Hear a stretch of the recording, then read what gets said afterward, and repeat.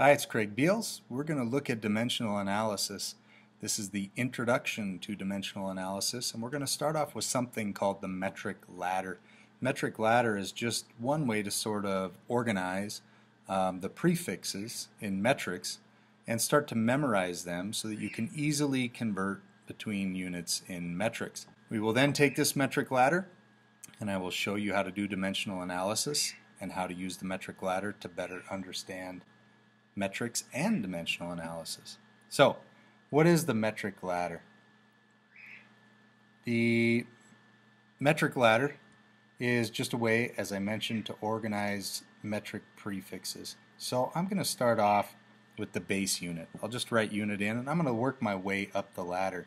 So there's many different ways to learn the metric ladder. This is the one that I've found to be easiest in my class, especially when you're going to use the metric ladder to start learning how to do dimensional analysis. So working our way up, I'm going to say that one deca, the prefix deca, is equal to 10 of the base unit. So maybe that's decameter. One decameter is equal to 10 meters. Working my way up even further, we've got 1 hecto is equal to 100 of the base unit. So you're going to start to see when we change this, it changes our um, suffix. So we have hectogram or decaliter. And up at the top, we have kilo. And that's 1,000 of the base unit. Now, this ladder does go up much higher. I'm going to stop here. We'll also just learn the first three going down um, just as an introduction. These are the basic ones that you really need to have a handle on. As we go down, we run into deci, and that's equal to one-tenth of the base unit. And I don't like to use fractions in this. I'll show you why when we get to dimensional analysis.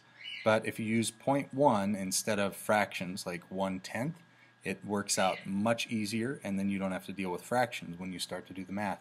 Below that we have centi as in one centi is equal to one hundredth of the unit and finally down here we have milli as in uh, one milligram is equal to one thousandth of a gram.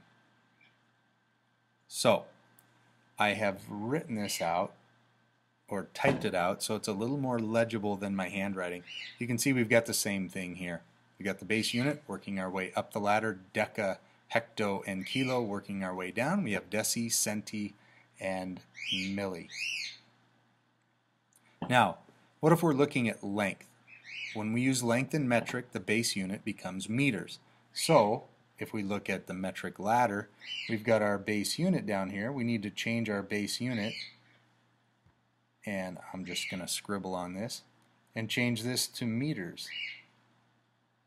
When I do that, it changes everything on my ladder. So now I have one kilometer is equal to 1,000 meters and or kilometer. One hectometer is equal to 100 meters. One decameter is equal to 10 meters. And so on and so forth, all the way down the line. All of these change to meter, and all of these change to meter. I've written that out again to make it a little more legible so you can see right here. So, again, when we start to memorize the metric ladder, we don't have to memorize um, all of these terms for units of length in meters. We also don't have to memorize the ones for um, liters or for grams, but I'll show you those anyway just to see how this metric ladder works for all of them. So if we're dealing with volume and we're dealing with liters, then again, just like we did before, all we would have to do is change out this base unit and we're going to put liters here. It would become 1 kiloliter and 1,000 liters. Same would happen here and here, here and here, and all the way down to the bottom. I'll fill in milliliter down here at the bottom just to show you, um, but I'm not going to write all of these in, sorry about the writing, because I've got it right here to show you once again.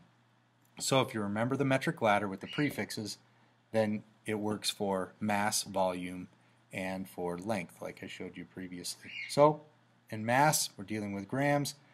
All we'd have to do is, again, change this base unit, and at this point, you don't even have to change it. You'll just become familiar with it. We can change this to grams. This becomes kilogram, and this becomes 1,000 grams. So 1 kilogram is equal to 1,000 grams.